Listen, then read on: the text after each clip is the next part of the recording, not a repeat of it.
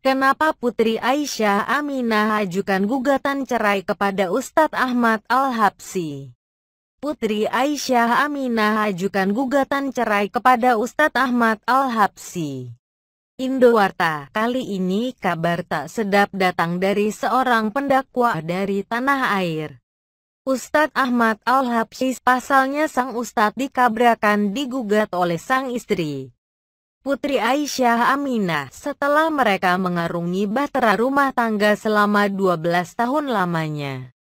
Kabar ini ditertuang dalam situs resmi Pengadilan Agama Jakarta Timur. Putri telah mendaftarkan gugatan cerai dengan nomor perkara 0478 G 2017 PLJT pada 31 Januari tahun 2017 lalu. Seperti yang dikutip dari situs resmi Pengadilan Agama Jakarta Timur. Putri Aisyah Aminah binti Mohtar Bohori Muslim selaku penggugat cerai atau pemohon. Sementara yang menjadi tergugat atau pemohon adalah Ahmad Al-Habsi bin S. Abu Bakar Abdullah. Ketika dirinya dimintai konfirmasi, Ustadz berwajah tampan tersebut mengatakan bahwa dirinya memang benar telah digugat cerai oleh sang istri. Iya betul digugat cerai, semalam saya baru dapat surat panggilan dari pengadilan. Intinya saya membenarkan adanya gugatan cerai itu, ucapnya baru-baru nih. Meski sang istri telah menggugatnya, namun Ustadz Ahmad Al-Habsyi masih sangat ingin mempertahankan rumah tangganya bersama dengan wanita yang selama ini hadir dalam kehidupannya.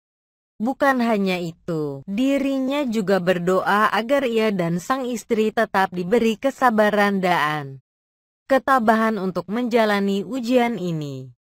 Lebih lanjut, Ustadz mengatakan bahwa sebenarnya ia ingin sekali mempertahankan keutuhan rumah tangganya. Sebagai suami saya masih ingin mempertahankan rumah tangga.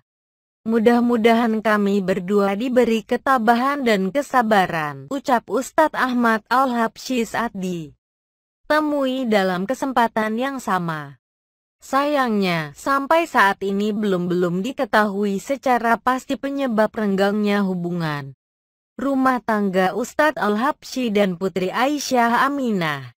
Namun Pengadilan Agama Jakarta Timur akan menggelar sidang perceraian mereka pada tanggal 8 Maret tahun 2017 mendatang.